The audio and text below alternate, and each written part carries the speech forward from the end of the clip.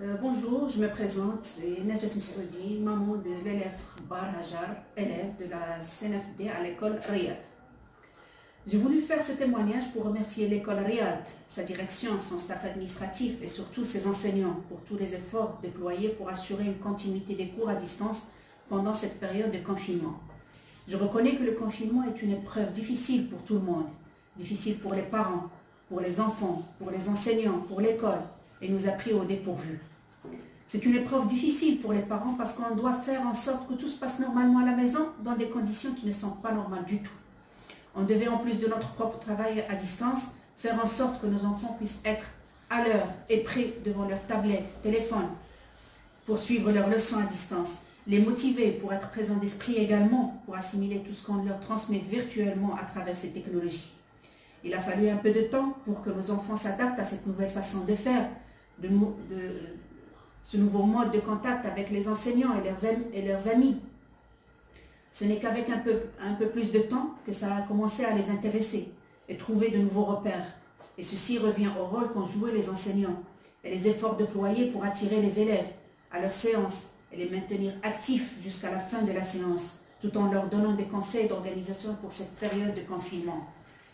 Je tiens ici à les remercier de leur engagement, de leur patience pour, maintenir, pour maîtriser le déroulement de la séance sans trop de débordement de la part des élèves, tout en respectant les valeurs de leur noble métier. Le résultat de cette expérience sont ce qu'ils sont. Devant la contrainte du confinement et des conditions sanitaires de notre pays, chaque acteur, élève, enseignant, parent, administratif, direction, a essayé de faire de son mieux pour assurer cette continuité pédagogique avec les moyens disponibles. Les cours à distance ne remplaceront jamais le présentiel et le contact entre enseignants et élèves. Ce n'est qu'en présentiel qu'on peut détecter les besoins d'accompagnement de chaque élève, qu'on peut observer l'implication de chaque élève dans son apprentissage afin d'adapter les méthodes pédagogiques pour un meilleur enseignement. Mais il y a des leçons à tirer de cette expérience, je pense. Le recours à l'enseignement à distance comme complément de l'enseignement présentiel est devenu une nécessité et un des leviers pour accompagner les élèves en difficulté dans leur apprentissage, pour limiter le décrochage scolaire et aussi consolider les acquis des élèves et assurer ainsi une formation solide et hisser le niveau des élèves et par conséquent les futurs acteurs du pays. Je pense que cette expérience est une opportunité pour l'école pour faire son bilan, déterminer ses atouts, ses difficultés, ses avantages, ses inconvénients et réfléchir à hisser le plus possible le niveau de ses élèves. Et cela ne peut se faire sans un investissement dans des solutions d'enseignement à distance complète, euh, interactives, efficaces et faciles à s'approprier, et aussi une formation solide de leurs enseignants à ces nouveaux modes d'enseignement.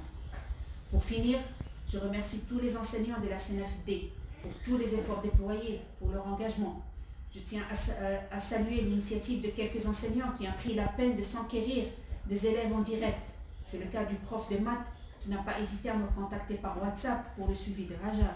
Le cas du prof d'histoire géo qui a contacté Raja par téléphone, et je crois que c'est le cas avec tous les autres élèves, pour s'enquérir de leur état, de s'assurer qu'ils ont bien compris les leçons et sont écrites sur les cahiers. Je les remercie tous. Je remercie également, également les staffs administratifs pour le suivi du, déroulement des cours et des messages de suivi des absences. Enfin, tous mes remerciements, tous mes remerciements à toute la direction de l'école. Merci.